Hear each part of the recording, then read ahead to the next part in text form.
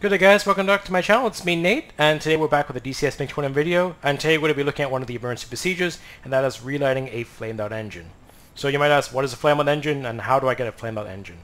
Um, I don't want to get too technical here into how jet engines work, but I will, what I will say is that the combustion, combustion process is in fact continuous and self-sustaining. So as long as you have fuel and airflow into the engine, uh, uh, obviously provided you have no technical problems and mechanical issues, the engine will keep burning.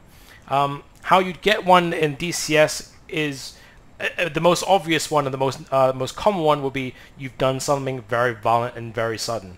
Um, for example, which what we'll show you here, I will pull vertical very rapidly from a high speed, um, climb out, and as I go up and the, the airspeed starts to decrease, the amount of air required to keep the engine in a high power setting um, diminishes, and the engine will literally suffocate, and the engine, the flame will go out, hence the name flame out.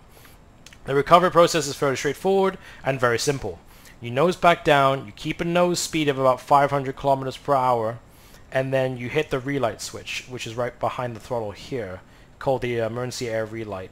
Or, or where's that effect? I can't quite remember, but that's the relight circuit breaker.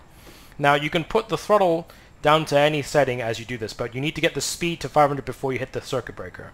Um, it doesn't matter what throttle setting you set other than afterburner. And the engine as you go go down towards you plummet towards the earth and the relight process takes place the engine will naturally spool up to the uh, the setting you've set down you've set for it. So um, what so that that that's that will do everything itself. It's it's automated it's very simple. So I'll just go over again quickly. We'll watch the RPM gauge as we go up and we'll watch that uh, drop we'll idle the throttle push the nose down recover from a stall if we do stall up there we probably will and then we'll relight the engine. And then once the engine's relit, eh, you apply power as required and pull out of the dive. So anyway, so here we go. I will start the process now, and I'll probably go to third person as well to show you the physical flame go, because you can see the flame go out of the, the of the the afterburn effect.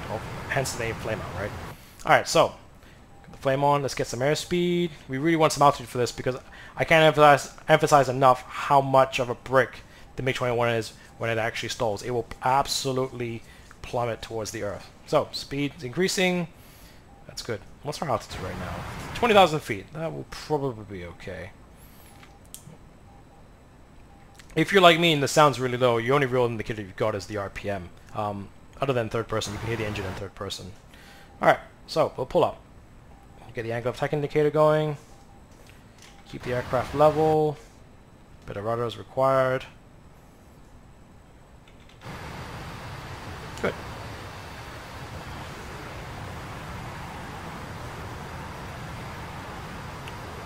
Probably stall soon, and we'll definitely, definitely have the compressor stall. There we go, engine's burning out. It's flamed out. There we go, it's completely flamed out. Now, what you want to do now is nose over, a bit of throttle, whoop. Sorry, a bit of rudder. Uh, let's try not to get into a flat spin, because that will be the end of us. Yeah, nose going down. Good. So, my throttle set to something minimal. Watch the airspeed increase. Obviously, the RPM's going right down. Once we pass 500, I'll hit the uh, afterburn, uh, sorry, the, the engine relight uh, circuit breaker. So, speed's about 500, relight. And you can, there you go. You can hear it just about the engine lighting up in the background.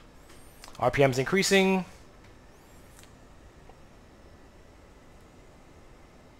Can see we lost a lot of there, and it still is crashing towards zero.